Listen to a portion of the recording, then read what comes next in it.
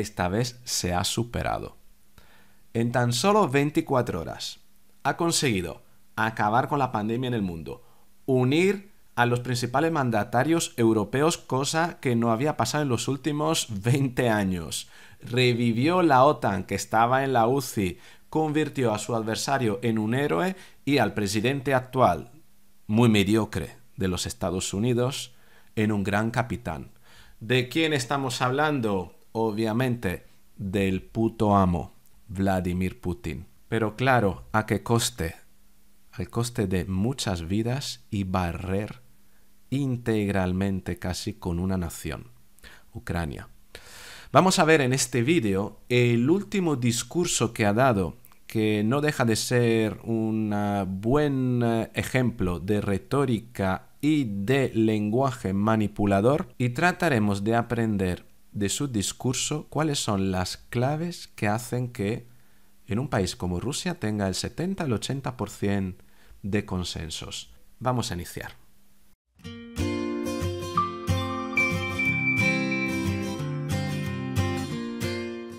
Antes que todo, he de decirlo, no hablaré de política, trataré de eliminar todo tipo de juicio, prejuicio al respecto de la política y me trataré de centrar sobre todo en las dotes comunicativas de este personaje que llevo observando desde hace ya dos años y que me parece que en cuanto a mantener alto el convencimiento de los suyos es realmente el mejor en el mundo, el mejor. Eh, también es cierto que hay que considerar que su figura se basa en un sustrato de algo que los demás mandatarios a nivel mundial no tienen. En los últimos 20 años ha conseguido cargarse a prácticamente toda alternativa de gobierno en su país y a toda oposición. También hay que considerar que gracias a las normas que ha conseguido aprobar en su país, tiene prácticamente extendido su mandado hasta 2036 y así se convertirá en el mandatario ruso más longevo en el máximo cargo de poder. Ni un zar, ni Stalin, ni Lenin han conseguido haber permanecido en el poder tanto tiempo. Esto nos da un poquito también la dimensión del por qué él puede aparentar una imagen tan endiosada ante los medios porque goza de esa seguridad.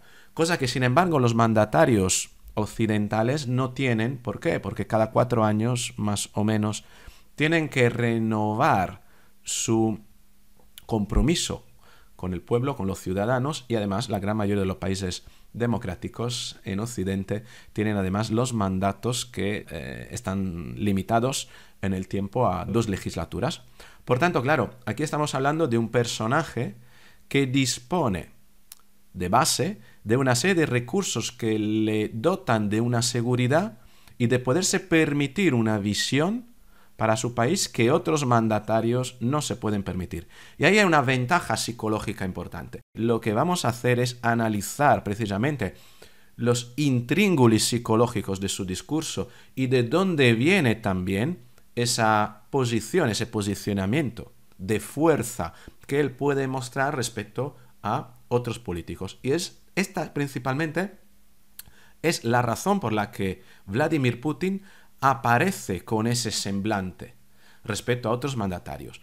Mentalmente, él puede proyectarse mucho más allá en el tiempo para crear un modelo mientras los demás mandatarios terminadas una legislaturas están iniciando a pensar en qué hacer para renovar y ganar la siguiente. Entonces, el desgaste que lleva la democracia occidental hace que sea muy difícil encontrarnos en los países occidentales figuras de este tipo.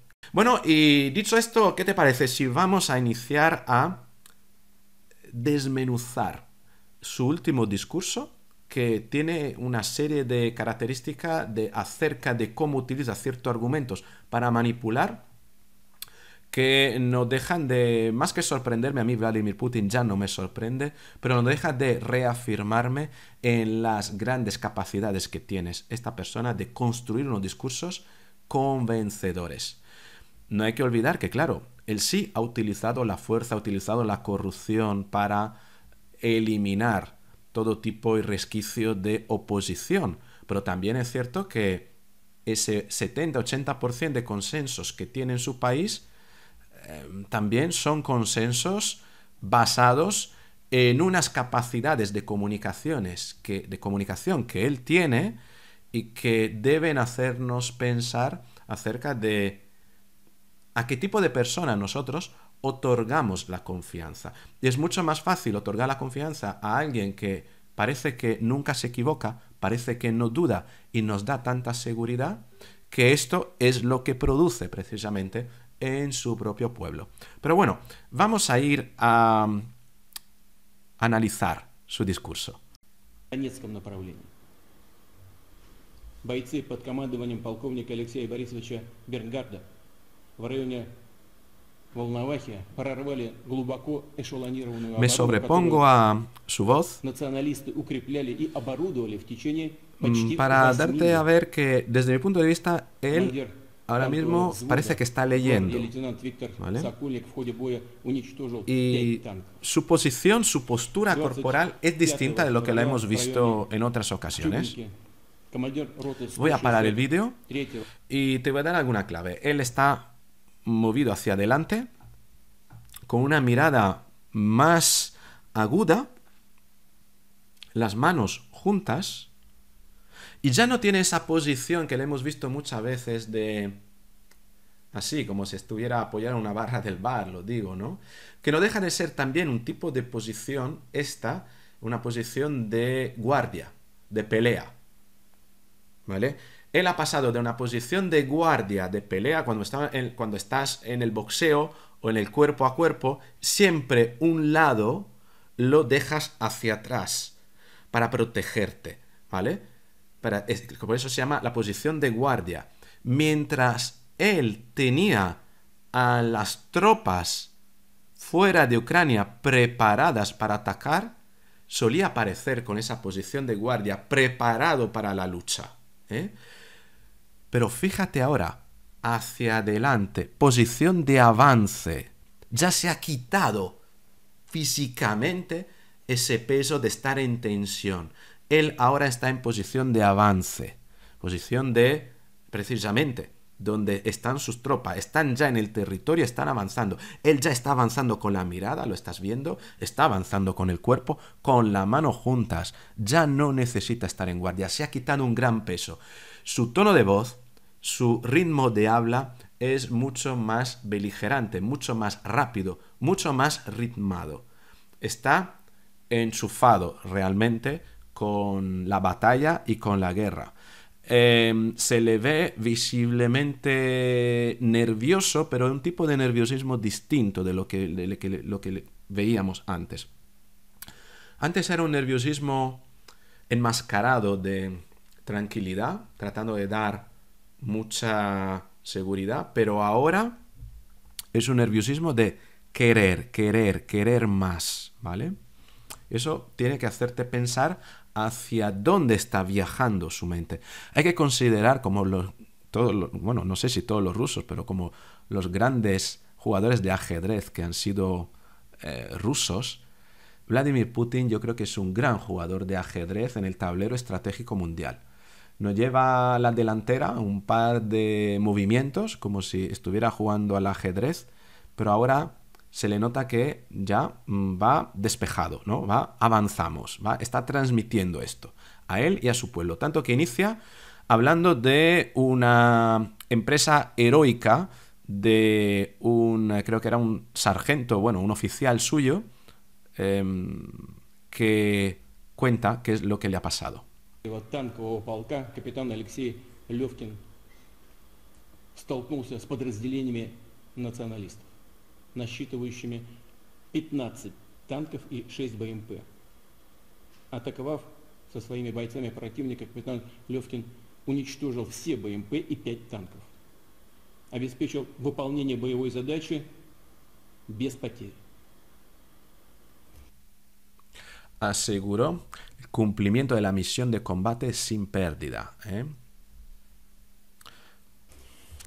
Мною подписан и указ о присвоении старшему лейтенанту Нурмагомеду Энгельсовичу Гаджи Магомедову звание Героя России. К сожалению, посмертно. В бою он уверенно командовал своими бойцами. Как настоящий командир берег подчиненных. Уже получив тяжелое ранение, сражался до последнего и подорвал гранаты окруживших его боевиков и себя. Он пошел на такой шаг, потому что понимал, понимал, с кем имеет дело, с неонацистами, которые издеваются над пленным. Aquí me paro. Fíjate todo lo que dice. ¿eh? Empresa heroica luchó hasta el último, haciendo explotar una granada cuando ya no tenía opción, con el fin de asegurar la misión. ¿no? Eh, ¿Aquí qué está haciendo? Pues eh, está abogando al más puro espíritu imperialista ruso. Personas que se inmolan por la patria, por sus ciudadanos, y él quiere dar el ejemplo, quiere dar el ejemplo porque lo que quiere transmitir es que todos los rusos en un momento dado, desde su posición, desde su profesión, tienen como inspiración, deben de tener como inspiración la gesta heroica de esa persona. Está tratando de abogar a las emociones de su pueblo. Unas emociones basadas precisamente en ensalzar una figura de valentía y de coraje, y no una figura de victimismo. Y eso es fundamental en la psicología eslava, en la psicología rusa. ¿eh? Importantísimo. Ese héroe romántico que se eleva inmolándose cuando ya la situación no da para más, pero que no huye. Nazis que se burlan capturando y asesinando brutalmente, ¿no? Él ya dando por hecho de que hay nazis, ¿vale? Él habla de su enemigo como nazi. Eso me recuerda a alguno que hablaba de los enemigos como rojos. ¿Eh?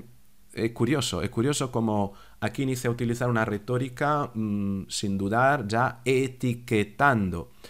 le pasa mucho también a los políticos de, nuestros, ¿no? Cuando hablan de ultra, ultraderecha o extrema izquierda, ¿no?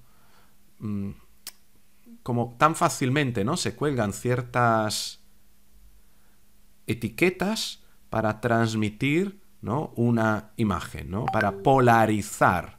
Aquí lo que está haciendo Putin es polarizar su sociedad. ¿Por qué? Porque sabe que históricamente su sociedad eh, tiene manía, ¿no? Eh, a los nazis, tiene, eh, no quiere los nazis, les odia, ¿no? Entonces, él está tocando esa tecla, etiquetando a su enemigo como nazi, automáticamente está evocando un anclaje del pasado de los rusos que le están escuchando, preparándoles para asumir esa guerra, para asumir que eso es necesario hacerlo y que será necesario mientras eso dure.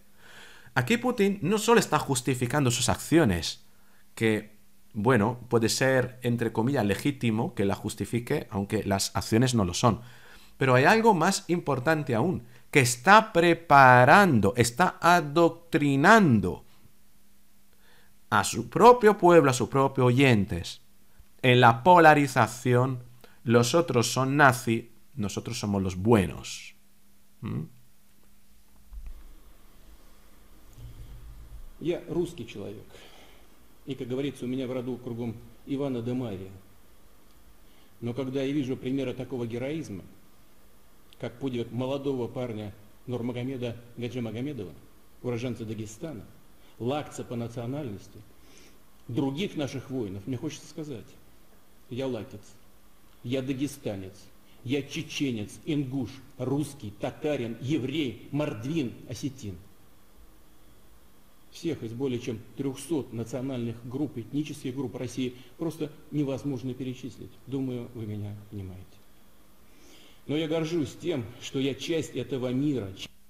Fabuloso. Aquí. ¿Qué es lo que hace aquí? nombra todas las etnias que forman parte de la Confederación Rusa y que supuestamente conviven pacíficamente en Rusia, mientras que se sabe y se da por hecho que en Ucrania pues, dos tipologías de nacionalidades no han convivido eh, pacíficamente, ¿no?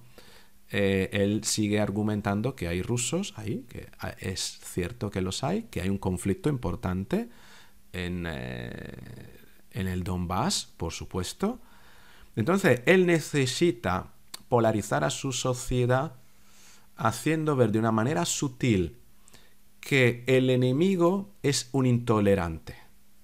¿Y cómo lo hace? Haciendo una comparación, ¿no? Provocando en su oyente la falacia de comparación. Pone un término de comparación que es inequivocable, que son las distintas etnias que forman parte de la Confederación Rusa y que conviven en paz dentro del paraguas del que él mismo es el protector, ¿bien? Y por el otro lado, claro, por efecto, simplemente con nombrar esto automáticamente, el otro término de comparación se convierte en mezquino.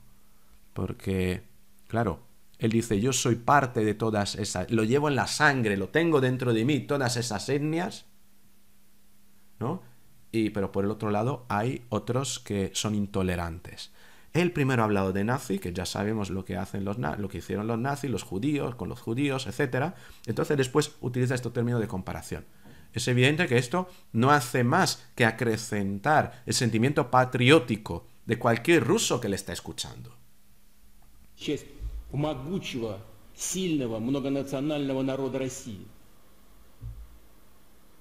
Вместе с тем никогда не откажусь от своего убеждения, что русские и украинцы – это один народ. Y aquí pone la guinda en el pastel. Dice, nunca me cansaré ¿no? de, luchar para que los rusos y los ucranianos sean eh, mm, considerados iguales, ¿no? Es decir, y automáticamente esto con toda la retórica anterior le posiciona en un rol de aquella persona que quiere unificar, que quiere generar quiere devolver, mejor dicho, una hermandad a un pueblo que lo ha perdido por culpa de aquellos contra los que está luchando. Жители Украины запугали. Многие оболванены нацистской националистической пропагандой.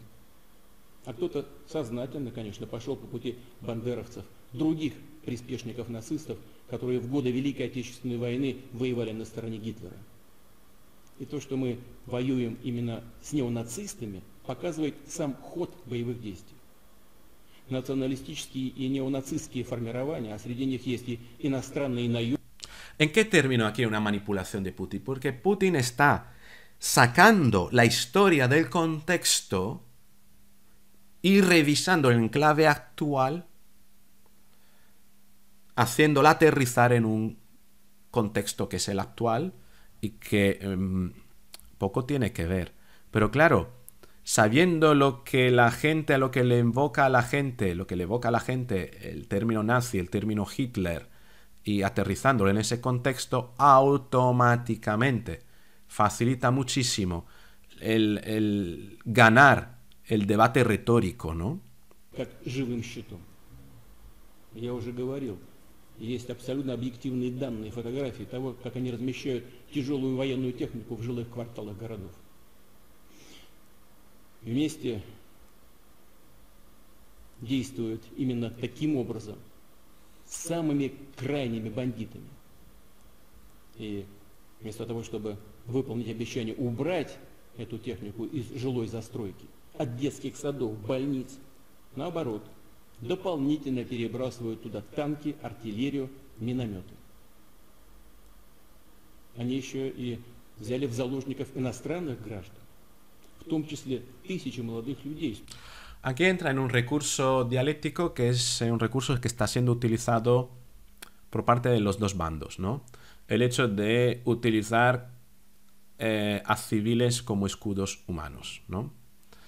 Em, él tiene sus argumentos, los del otro lado tienen el suyo. Bueno, creo que es un argumento muy socorrido en guerra y es el motivo por el cual eh, en la guerra, el motivo por el cual la guerra se hace en lugares poblados, ¿no? em, no tengo mucho más que añadir al respecto, salvo que, bueno, no deja de ser un, un engaño, una manipulación, una falacia, ¿no? Recurrir a esto que sabemos que de partida genera rechazo en cualquiera que lo escuche. Студентов, которые проходили обучение на Украине. Так более суток держали на железнодорожном вокзале в Харькове 3179 граждан Индии, в основном студентов. И большую часть из них продолжают... Aquí también, otra vez, nombra los tantos estudiantes indios que han quedado atrapados en la estación de Yerkov. Um, claro, ¿por qué indios? Porque India en eh, la resolución de Naciones Unidas de hace unos días se abstuvo.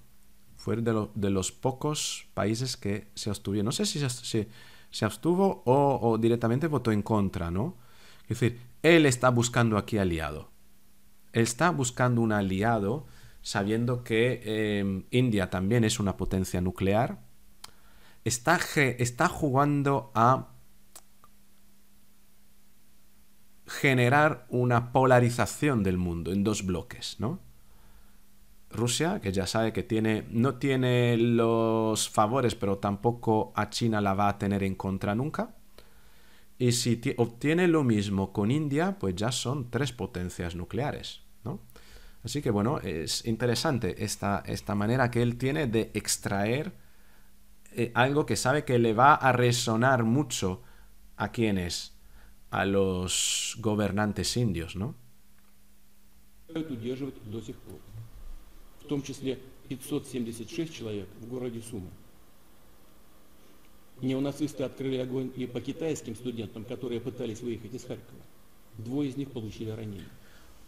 Recurre a los estudiantes chinos de, con el mismo recurso. но им не дают этого сделать. Фактически держат в заложниках, тянут время или предлагают эвакуироваться через Львов в Польшу. То есть проехать через всю зону боевых действий, подвергая их риску. Наши военнослужащие предоставили коридоры во всех, без исключения зонах столкновений. Обеспечили транспорт, чтобы у мирных людей. Bueno, aquí hace otra falacia de comparación, ¿no? Todas esas personas si quieren huir hacia Europa tienen que pasar por el fuego cruzado, ¿no? Sin embargo, nosotros estamos proponiendo corredores, corredores humanitarios, ¿no? Esto es, eh, en fin, eh, se posiciona también aquí como una persona que trata de cuidar en todo momento de los seres humanos y de la vida, pero que al otro lado tiene gente sin escrúpulos, ¿no?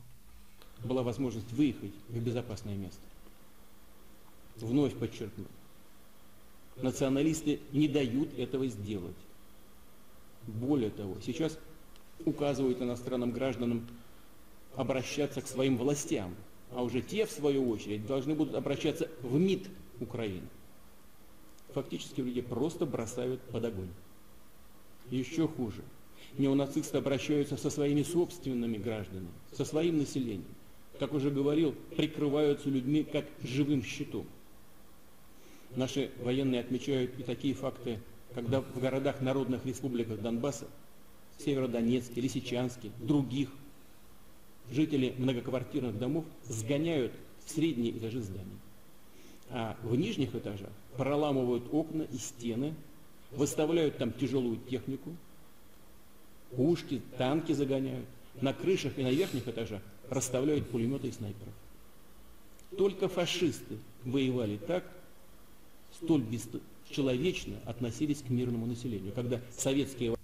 Otra falacia de comparación en, el que, en la que, utilizando los términos nazista, los términos fascista, em, retrata las técnicas de guerra que, los, que tienen los ucranianos diciendo que son las mismas que tenían los nazis, cuando las tropas soviéticas otra vez abogando al discurso romántico, sacando la historia de contexto. ¿eh?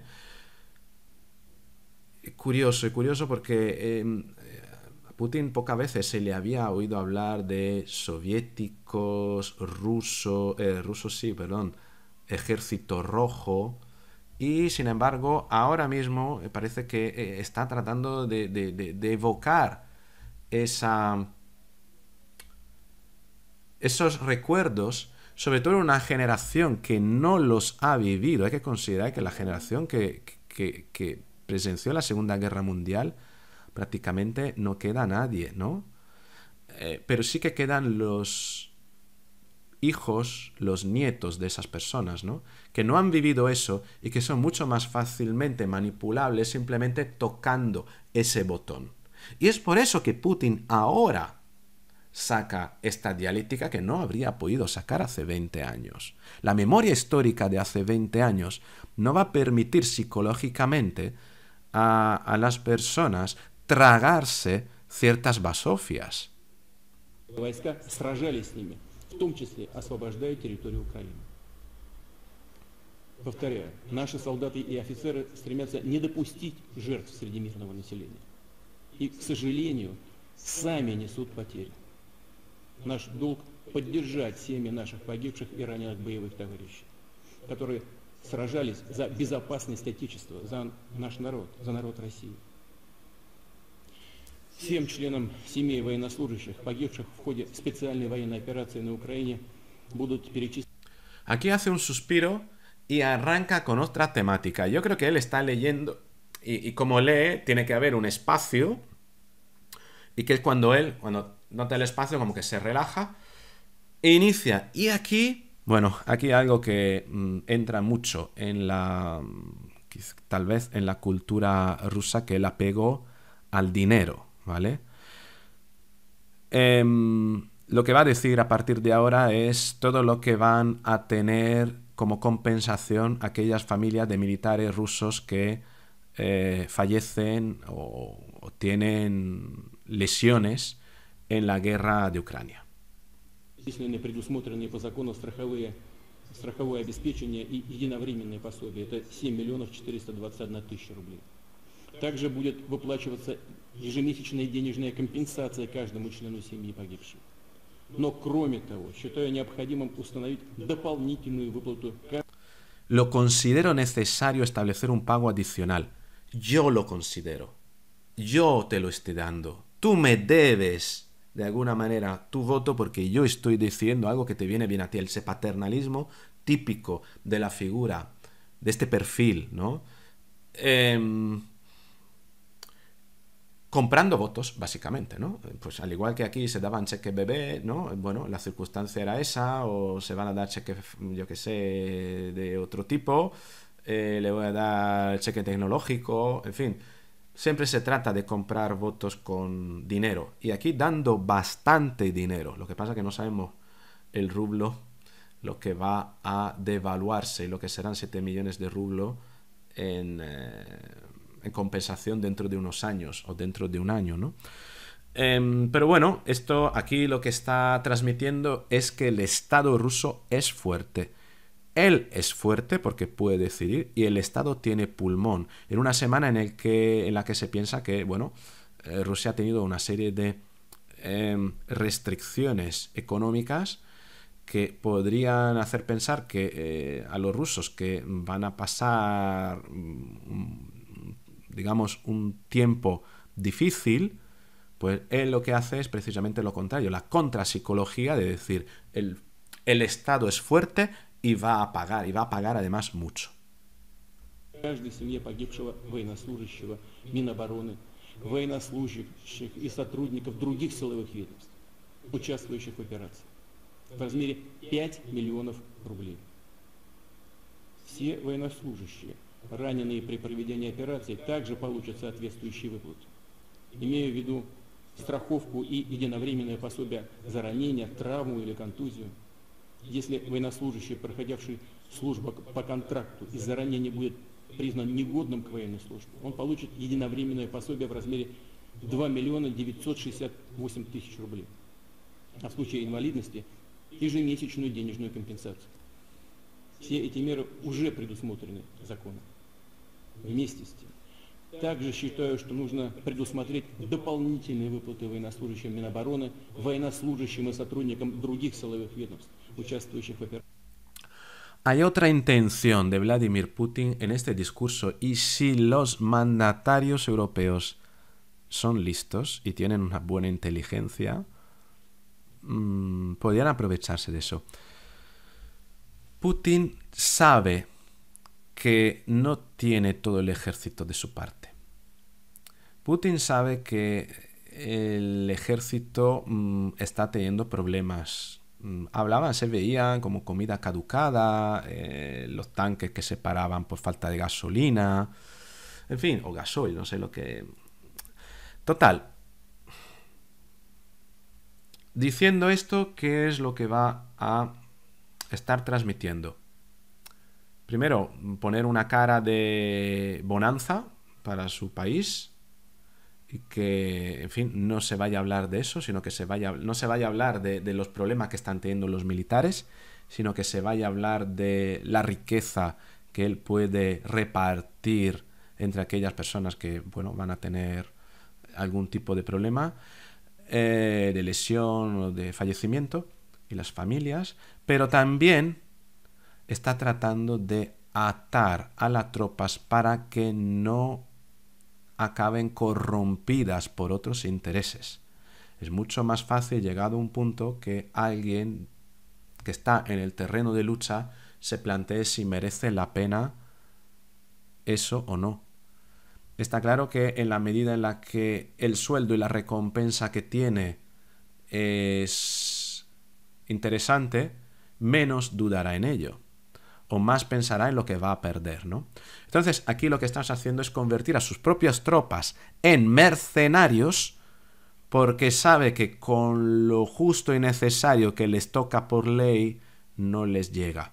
Y no tiene tan claro Putin hasta qué punto el ejército le va a mm, responder. Mm, es un elemento aquí que ya ha pasado, ha ocurrido en otro vídeo que yo analicé sobre él, que lo puedes encontrar por aquí o por aquí. ¿eh? Bien, seguimos. И получившим ранения по 3 миллиона рублей. Вновь подчеркну. Сейчас на украинской территории наши солдаты и офицеры сражаются за Россию, за мирную жизнь для граждан Донбасса, за денацификацию и демилитаризацию Украины, чтобы никакая антироссия, годами создаваемая Западом прямо у наших границ, нам не угрожала в том числе и ядерным оружием, как это было в последнее время. Наш народ гордится своими вооруженными силами. Мы будем всегда помнить наши... Él últimamente tiene que colar una y otra vez el tema de armas nucleares. ¿Por qué lo tiene que colar? Porque tal como está estructurado el ejército ruso, tienes, tiene poco efectivo, porque los efectivos hay que pagarlos, hay que darles de comer, pero las armas almacenadas no cuestan, no cuestan tanto, ¿no? Entonces, el ejército ruso realmente no tiene un gran número de efectivos, ¿bien? Tiene muchas armas. ¿Por qué? Porque la Rusia comunista, eh, cuando llegó al final de su decadencia, no tenía dinero, ¿no? Tuvo que deshacerse de, de, su ejército, ¿no? Eh, ¿Qué le quedaban? Armas Realmente el ejército ruso, aun siendo un ejército poderoso, no es tan grande como mm, y no hay tanta inversión ¿vale? en él como lo tiene pues eh, las fuerzas militares de la OTAN, ¿no? Pero sí que tiene, ¿qué es lo que tiene? Armas nucleares. Es decir, realmente él no tiene una gran capacidad de amortiguar un gran número de pérdidas o incluso de insumisión por parte de sus tropas.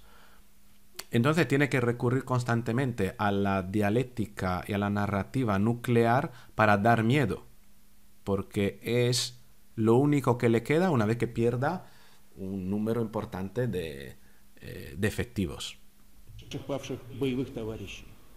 Сделаем все, чтобы поддержать их семьи, их детей, дать им образование, поддержать родных и близких.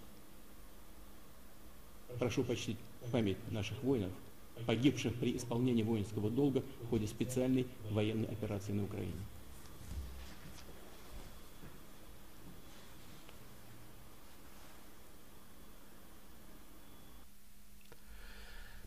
Aquí, utilizando la retórica occidental, el minuto de silencio, ¿no? Al fin y al cabo, el pueblo ruso ha sido adoctrinado también en base a principios occidentales y él lo que quiere hacer ver aquí es que eh, su país es lo mismo que digamos, los países occidentales. Lo que pasa es que tiene otros valores, ¿no? En para algunas cosas que son mejores, ¿no? Pero entonces, ¿aquí ¿a qué recurre? Pues recurre al minuto de silencio, tanto, tanta compasión ¿no? despierta alrededor del mundo. Y es increíble la elegancia con la que él se levanta, se abrocha la chaqueta y cuando se vuelve a, sentar, se desabrocha nuevamente. Realmente es, él domina perfectamente todas las normas de protocolo que le convierte en una persona realmente agradable de ver, agradable de conversar, educada, eh, inspiradora en ese sentido. ¿no? Decía en un post que Putin es el hijo que toda madre rusa quisiera tener, el novio o el marido que toda mujer rusa quisiera tener y posiblemente el tipo de hombre al que la gran mayoría de hombres rusos aspiran ser. Por tanto, un modelo.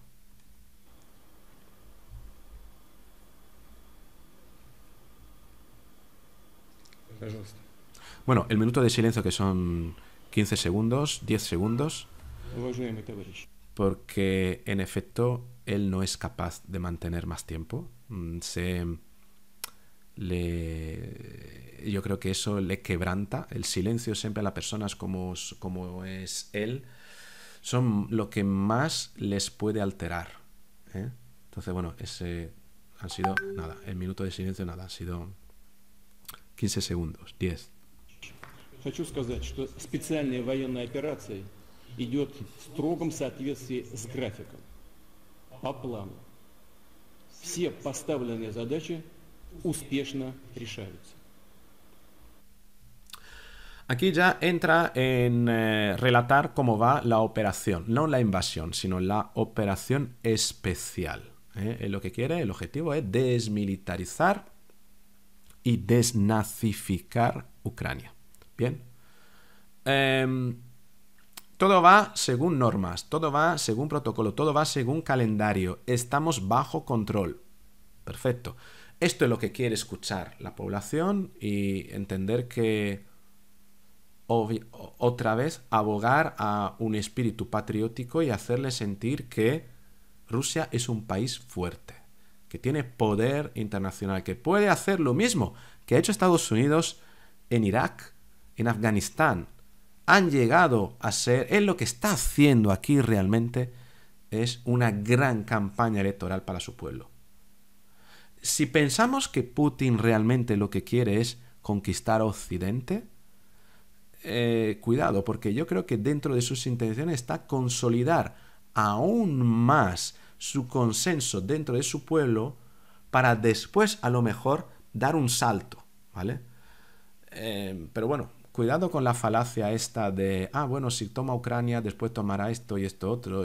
bueno, no tiene por qué ser así. Es como, eso como cuando se dice, es que si empiezas a fumar porros, acabarás inyectándote eh, heroína. Pues no necesariamente es así, ¿no? Pero sí es cierto que, bueno, se pueden dar eh, otras opciones, pero no caigamos en ese error, ¿no? Yo creo que eh, Putin hará todo lo que hará en la medida en la que siente que tiene respaldo popular, necesita ese respaldo, se alimenta, es su gasolina.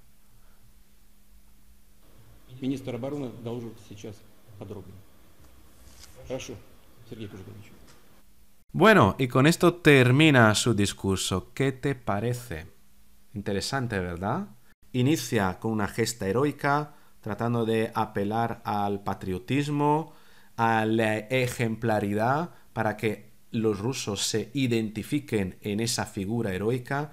Segundo, trata de utilizar, dándole al botón de la memoria histórica, toda la narrativa de eh, nazis contra, eh, contra rusos de la Segunda Guerra Mundial Tercero, compra a sus mercenarios tratando de atar a su, eh, a su ejército alrededor del dinero. Y cuarto y último, eh, da una sensación de control de la situación, diciendo que, bueno, toda la operación está yendo según los planes, ¿no?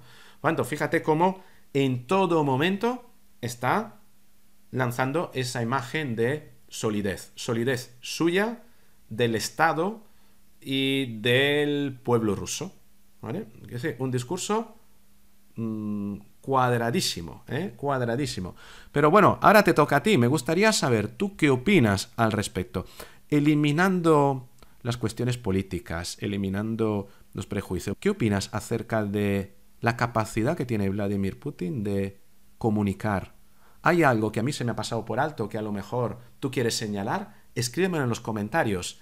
Y, por supuesto, ¿tú crees que después de esta operación seguirá o simplemente asentará su conquista, volverá, dará una idea de aparente democracia para Rusia después de haber puesto, para Rusia, para Ucrania, después de haber puesto otro gobierno y esperará nueva orden?